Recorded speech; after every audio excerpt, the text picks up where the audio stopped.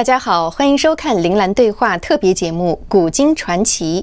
我们的节目呢，在 YouTube 上有独立的频道，请搜索“铃兰对话”这个频道，点击订阅和小铃铛，这样呢，您就不会错过我们的更新了。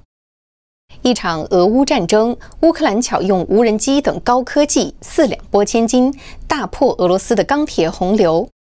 不过呢，在中国古人早在几千年前就发明了和无人机、导弹类似的高科技。并且在战场上出奇制胜。今天呢，我们就跟大家聊一聊中国古代的高科技。早在两千五百年前，中国古人就发明了类似无人机的飞行木鸢。那是公元前四百年左右，中国正处于春秋战国时期，诸子百家争鸣，能工巧匠辈出。其中呢，有一位思想家叫做墨子，他呀，估计是中国最早的唯物主义经验论的学者。耳闻目睹的经验，他才认。这当然呢有很大的局限性。比如说，你没见过黑天鹅，不等于世界上没有黑天鹅。但是呢，他也不会理论先行，以一句“这不科学”就否定在当时那个年代客观存在过的现象。在这样的背景下，《墨子鲁问篇》，也就是记录墨子和他的门徒对话的这么一本书，记录了一个故事。墨子啊，有一位同时代的老乡，叫做公叔子。叫公叔子，大家可能不熟悉，但是说起他的别号，可以说是无人不知，就是鲁班。根据《墨子鲁问》的记载，公叔子削竹木以为雀，乘而飞之，三日不下。也就是说，鲁班用竹子、木头造了一只鸟雀，造成了以后飞上天，三天不落地。根据能量守恒定律，这个木头鸟的升力和动力来自哪里呢？似乎很难解释。就算是放风筝，在起步的阶段，也要通过人加速奔跑产生的气流的速度，再手动的调整风筝的引角，让风筝下方的气流产生足够的升力，风筝就飞起来了。但是呢，这也只是一个短暂的状态。一旦这个力矩没有把握好，或者风筝一旦断线，风筝就掉下来了。那么鲁班的这个木头鸟是怎么三天不落地的呢？如果说这句话是出自一位浪漫主义文学家的著作，你可能会怀疑有夸大的成分。但是呢，它是出自墨子这位讲究眼见为实的学者口中，就得以另一种眼光来审视了。而且啊，当时还有不少民间的消息都指向出鲁班确实曾经制作出仿生的器械。比如说，唐代有一本《主公旧事》，专门收集前朝的杂史。后来呢，在乾隆年间被收入了《四库全书》。这个《主公旧事》卷二就记载，当时啊，楚国要攻打宋国，鲁班呢是帮着楚王这边的，所以他帮楚王发明了不少攻城神器，准备攻打宋城。其中一个就是载人侦察机。原文是这么写的：“公输班。”常为木鸢，乘之以窥宋城。也就是说，鲁班做了个木头老鹰，乘坐在上面去窥探宋城的情况。而刚才我们提到的跟鲁班同时代的墨子，他是主张非攻的，用现在的话来讲，就是一位反战主义者。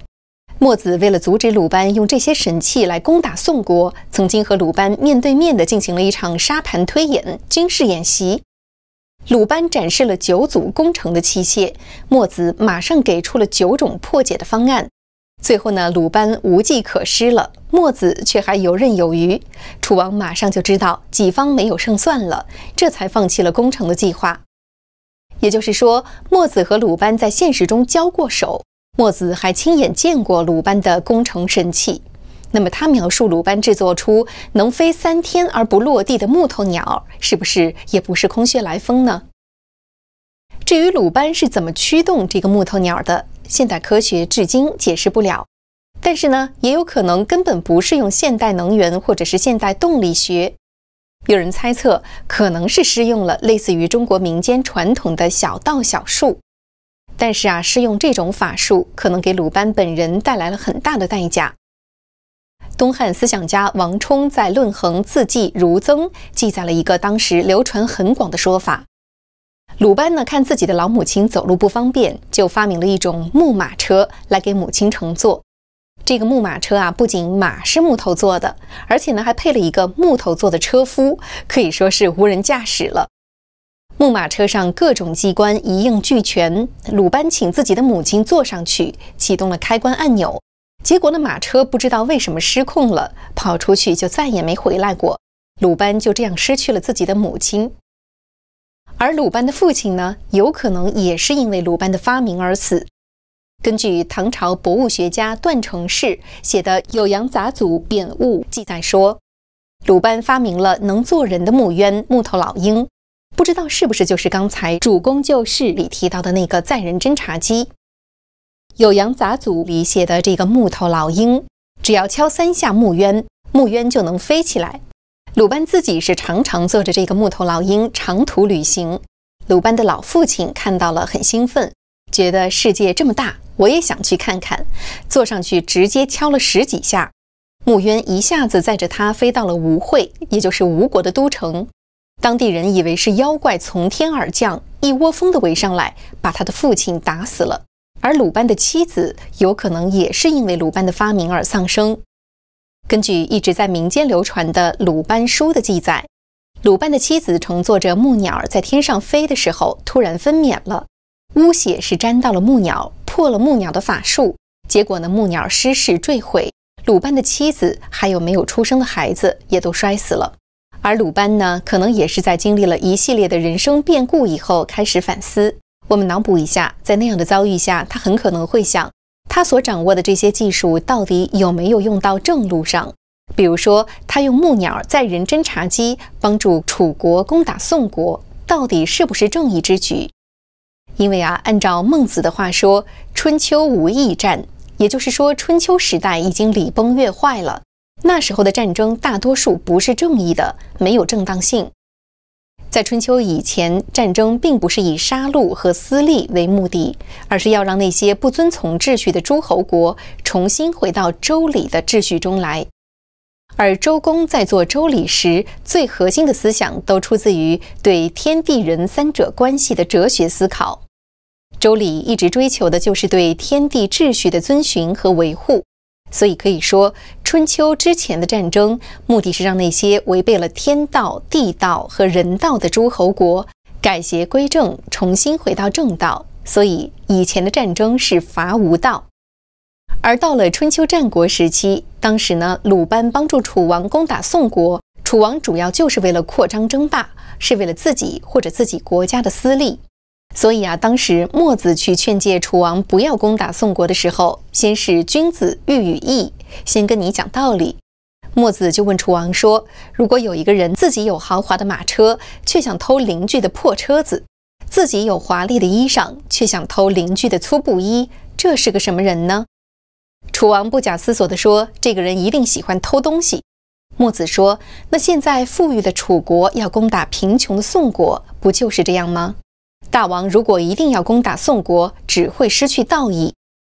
结果楚王不为所动，说：“鲁班都帮我造好攻城的云梯了，仗是一定要打的。”墨子没办法，才跟鲁班进行了上面提到的沙盘推演，在军事演习中大败鲁班，这才打消了楚王的入侵计划。而鲁班是不是在遭遇了一系列的人生变故以后，开始重新思考自己的技能和道德和社会之间的关系呢？现在外界已经不知道了，只是有典籍记载，鲁班四十多岁以后开始远离尘世，到骊山隐居。之后呢，遇到了高人，教给他修炼的正道。鲁班是云游天下苦修，同时正用他的技能帮助老百姓造一些实用的工具，在七十岁左右得道成仙，百日飞升。而鲁班所掌握的这些技术，在历史上还不是特例。还有更厉害的，可以飞国际航班。日本平安时代的韩志和就曾经骑着自制的木仙鹤飞到了大唐。根据《杜阳杂编》记载，韩志和制造的仿生机械都栩栩如生，巧夺天工。唐穆宗呢，还因此给了他重赏。但是韩志和一出皇宫，就把金银财宝全都施舍给其他人了，他自己呢，就消失在茫茫人海中，可能也是一位修道者吧。现在，日本高山市还立着他的雕像和碑文，纪念他的事迹。还有文献记载啊，明朝宪宗时期，松江城人在半空中看到了一个不明的人造物，当时的人说是飞车或者是飞船。只见它从东向西飞行，转而折向东去，最后慢慢的盘旋，落在了一座楼上。人们凑上去看，发现这架飞车是用稻草编织的，但是呢，驾驶者已经不知去向。而说到把仿生机械用于战争的，还有一个最知名的案例，就是诸葛亮的木牛流马。即使到二十一世纪，一些国家都难以解决军队的后勤补给问题。比如这次俄军入侵乌克兰的初期，因为后勤保障不顺畅，甚至一度让大军动弹不得。而早在公元两百多年的三国时期，神人诸葛孔明也曾经面临过这样的难题。根据《魏书》的记载，公元二三一年，诸葛亮出兵伐魏。一开始啊，魏国的将领们是一点都不怕，他们议论说：“诸葛亮军无辎重，粮必不济，不击自破，无为劳兵。”就说诸葛亮没有后勤部队，粮草呢肯定跟不上，粮草一断，不用打他就输了。但是他们没料到的是，诸葛亮不仅是位杰出的军事家，也是一位杰出的发明家。他造出了木牛流马来运输粮草。这个木牛和流马很可能是两样发明。根据三国时代结束后不久，西晋史学家陈寿写的《三国志》，就记录了两场分别使用木牛和流马来运输物资的战役。一个是建兴九年，也就是公元二三一年的春二月。诸葛亮复出围岐山，使以木牛运。第二次呢是建兴十二年，也就是公元二三四年的春二月，诸葛亮由斜谷出，使以流马运。后来南北朝时期的裴松之在给《三国志》做注的时候，引用了现在已经失传的《诸葛亮集》。《诸葛亮集》里就记载了木牛的外观和流马的尺寸，说这个木牛是方腹曲头。肚子是方的，像个箱子一样，方便装粮食。头是有弧度的，然后呢是一角四足，双者为牛角，转者为牛足。在魏晋之前的古文，角表示下肢，足是接触地面的足面，可能呢是指一只木牛有两根支柱或者是连杆之类的东西，每一个杆子呢连带着四个可以转向的装置。而这个木牛的载重能力怎么样呢？诸葛亮集记载，它可以载一岁粮，日行二十里，而人不大劳。一岁粮就是够吃一年的粮食，大概是三四百斤。每天走大概二十里，也就是十公里，而人并不怎么累。在《三国演义》里面，把木牛流马描绘成一种纯自动化的机械，但是呢，按照诸葛亮集的记载，其实啊，木牛流马可能是需要人力来操纵的。比如刚才提到的那句“人不大劳”，结合上下文，应该是说人操纵木牛，每天走二十里，不太劳累。虽然操作很方便，但毕竟不是无人机。同时啊，这个诸葛亮集里还有一句：“木牛射者为牛丘轴，仰双圆，人行六尺，牛行四步。”射在古文里有一个意思是拉拽，牛丘轴呢是指牛身后的皮带。这就反映出了人操纵的位置和方式。牛仰双圆，可能是指它是一种双圆车。人在牛身后操纵木牛，人走两米远，牛角那个支柱就动四下。牛角下面呢还有四个小轮子控制方向。只不过现在人不知道它到底是怎么动的，已经失传了。可能有人会对木牛流马不是无人机很失望。但是呢，即使它是有人操纵的，也仍然是有超前的先进性。比如说，它能日行二十里，也就是十公里。现代人正常啊，一天走十几公里的山路就累得不行了。而那个时候呢，推着一架装了几百斤粮食的木牛车，一天走十公里山路还人不大劳，说明它的转向装置很好。不然的话呢，在山区很容易翻车，也走不了那么快，那么轻松。现代的西方人啊，总是说中国古代发明不出来转向装置，所以做不出四轮马车。但是你看诸葛亮那个时候就造出了一脚四足、四个足可以转的木牛，而且啊，西方的四轮马车只适合在平地上行驶，但是诸葛亮的一脚四足的木牛能在山地奔袭，你说它先进不先进呢？木牛流马还有精巧之处，就是防盗。如果在运粮的过程中被敌军发现或者是拦截时，一旦抵挡不住，准备弃粮逃跑时，只要在木牛身上一个特殊的部位，有的说是牛舌的部位，有的说是轮子部位的一个隐蔽机关，变一下木头牛马本身模块的位置，或者是插入一个木块，这个木牛流马立刻就不会动了，别人偷去也没用。《三国演义》的第一百零二回就有这么一个故事。当时啊，司马懿就抢去了一匹木牛流马，但是呢，他不知道那是诸葛亮故意让司马懿劫去的。在司马懿用木牛流马满载粮食的时候呢，诸葛亮让人冒充魏军检查粮草，把木牛流马口中舌头的机关关上，这个牛马立刻就不会动了。等伏兵赶跑了魏国的运粮队伍以后，再打开机关，木牛流马就又能走了。蜀国呢，因此截获了魏军的大批粮草。遗憾的是啊，在正史里面只有关于木牛流马的尺寸、外观的记载，没有教具体是怎么制作的。随着三国的落幕，木牛流马也就消失了。也许这就是天意吧。不过呢，也有人说，如果木牛流马真的那么先进，应该很快就会普及，不会失传。但是呢，其实中国古代很多先进的技术都失传了，这可能是天意，也有可能是社会环境和成本的问题。比如说木牛流马，它的制造成本有多高？适不适合批量生产？这么高成本的机械是为了山地远程奔袭特制的，在平原地区有没有批量化生产的必要性等等，都可能是它失传的原因之一。两百多年后的南北朝时期，大科学家祖冲之又再造了木牛流马，但是呢，也是昙花一现，没有传下来设计的图文。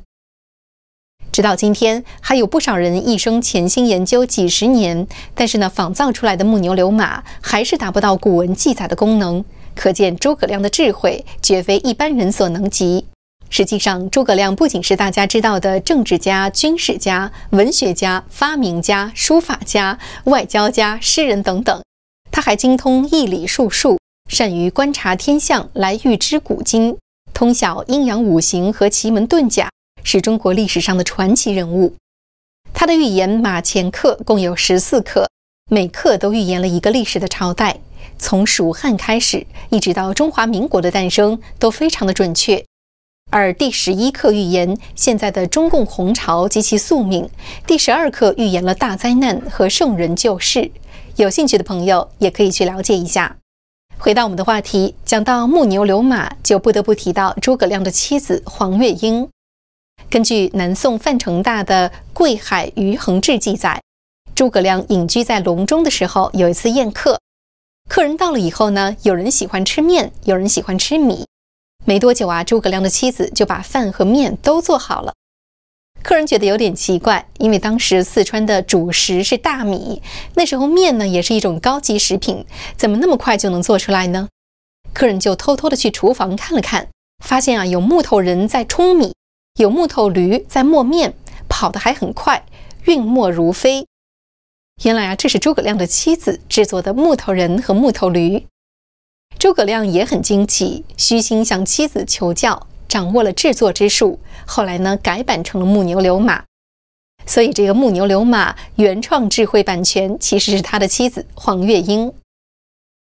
黄月英呢是诸葛亮师傅黄承彦的女儿，据说长相丑陋，皮肤很黑，头发焦黄，但是她的才能和诸葛亮不相上下。诸葛亮在师傅家里看到了黄月英制作的巧夺天工的木虎、木人，还有黄月英的绘画诗词，知道她有才有德以后，不以貌取人，把她娶进了门。婚后呢，两人相守到老，黄月英也全力的辅佐诸葛亮。让诸葛亮没有后顾之忧的辅佐刘备，也是给后世留下了一段佳话。而关于中国古人的先进发明，还有一个例子，就是军事运用最广的火药。十六世纪，法国思想家蒙恬在散文集中说：“我们惊呼为奇迹的火炮和印刷术，世界另一端的中国早在一千年之前就享用了。”他说的火炮，指的就是由中国火药驱动的武器。火药的发明其实也是中国道家阴阳学说的一种体现。正用是修炼文化，反用就是军事的兵器。我们先来看一看中国把火药用于军事的记录。唐朝的末年，差不多公元九百年的时候，火药就在中国被用于军事了。而西方最早的有关火药的书面记录是在十三世纪，中国整整领先了四百年。根据宋代陆震《九国志》的记载，唐哀帝的时候，郑王藩率军攻打豫章，也就是现在的江西南昌，发击飞火，烧毁了龙沙门。这可能是用火药攻城的最早记载。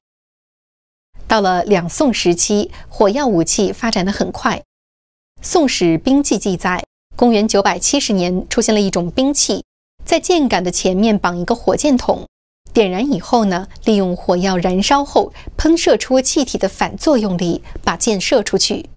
这可能是世界上最早的喷射火器。北宋末年出现了爆炸威力比较大的铁火器——霹雳炮、震天雷，主要呢是用来攻坚或者是守城。公元一一二六年，李纲守开封的时候，就是用霹雳炮击退了金兵的围攻。金史描述说，震天雷火药发作，声如雷震，热力达半亩之上，人与牛皮皆碎，并无迹，甲铁皆透，威力非常大。南宋的时候出现了管状火器，可以说是现代枪炮的原型。一三三二年，中国制造的铜火铳。可能是世界上现存最早的有铭文的管状火器的实物。到了明朝初期，发明了装翅膀的震天雷炮。攻城的时候呢，只要顺着风点燃引火线，震天雷炮就会一直飞到城里。等引火线烧完，火药就爆炸了。明代还出现了神火飞鸦，用竹篾扎成乌鸦，里面呢装满了火药，用四支火箭推进，飞一百多丈才落地。这个时候啊，装在乌鸦身上的引线也烧着了，引起火药爆炸。如果乌鸦是落在地上，可以烧军营；落在水上，可以烧船只。它是世界上最早的多火药筒并联火箭，而震天雷炮和神火飞鸦也可以说是世界上最早的飞弹了。而且啊，明代还有了多发火箭，比如说同时发射十支箭的火弩流星箭，发射三十二支箭的一窝蜂。还有可以发射一百支箭的白虎旗奔箭等等。燕王朱棣和建文帝在白沟河大战的时候就使用了一窝蜂，这是世界上最早的多发齐射的火箭。当时水战还使用一种叫做“火龙出水”的火箭，应该是世界上最早的两级火箭，可以在距离水面三四尺高的地方飞两三里。根据武备志的记载。这种火器呢，是用一根五尺长的大竹筒做成一条龙，龙身上前后各扎两支大火箭，而龙肚子里呢再装很多支小火箭。用的时候啊，龙身上的第一级火箭点燃以后，推动舰体飞行，如火龙出于水面，飞到两三里远，引火线就烧着了装在龙肚子里的第二级火线，它们就从龙嘴里飞出去，击中目标。很多现代的兵器在中国古代几乎都可以找到它们的影子和雏形，而中国古代的很多武器其实呢只是民用功能的副产品。比如说火药，火药为什么要叫这个名字呢？因为啊，古代的火药主要成分是硝石、硫磺和木炭，其中硝石和硫磺本身就是药材。在《神农本草经》里，把硝石列为上品中的第六位，能治二十多种病；硫磺呢，列为中品中的第三位，能治十多种病。而这些药材呢，要用火来炼，而这也是中国古人对化学的贡献之一，就是发现这些物质的提炼、分析和使用的方法。比如说，南北朝的医药家、炼丹家陶弘景，在《草木经集注》里。就说过如何分析硝石，要用火强烧之，紫青烟起，仍成灰。有这些特征呢，才是真的硝石。药是材料，火是方法，而炼丹是目的。采药炼丹术起源很早，根据《史记》记载，汉武帝登位初期，公元前一三五年左右，方士李少君就已经在宫殿里为皇帝炼丹了。汉武帝呀，曾向民间广求丹药，招纳方士，也亲自炼丹。炼丹成为了风气，开始盛行。东晋年间的炼丹家葛洪著作等身，他最重要的著作《抱朴子》外篇五十卷，是论人间得失、世事善恶和如何治世经国。内篇二十卷论采药炼丹、延年养生、修炼成仙的理论和方法。到了唐代，尊老子为太上玄元皇帝，天下道观总一千六百八十七所，炼丹术鼎盛。唐太宗李世民、大诗人李白、杜甫、白居易等都热衷于炼丹，希望修炼成仙。而火药的配方就是在炼丹的过程中发明的。炼丹家呀，需要对一些炼丹的药物进行高温伏火，目的是去其毒性，以便药用。唐代时，大医学家、炼丹家孙思邈在硫磺伏火时发现了火药，他首次记载了硝、硫、碳三种成分的混合物可以引起起火或者爆炸。之后呢，火药也在军事上被广泛运用。其实啊，这很有中国道家阴阳学说的意味。这药善用就是治病救人的药，恶用呢就成了取人性命的兵器。文用可以延年养生，甚至修炼提升层次；武用呢也分两种，恶用是杀人取命，善用是保家卫国或者是制止犯罪。善用或者恶用不取决于药或者材料的本身，而是取决于使用者的道德。好了，今天就聊到这里。不知道您觉得这一类话题是不是很有意思？大家可以留言聊一聊您的想法。如果大家对这类话题感兴趣，以后呢，我们可以开辟一个专栏，专门聊一聊这类故事。感谢您的收看，下次节目时间和您再会。现在呢，我们在 YouTube 上有一个独立的频道，叫做“铃兰对话”。如果大家喜欢我们的讨论内容呢，可以在 YouTube 上搜索“铃兰对话”，订阅这个频道。而且呢，一段时间以后，我们的节目可能就只在这个频道上播出了，所以一定要订阅哦。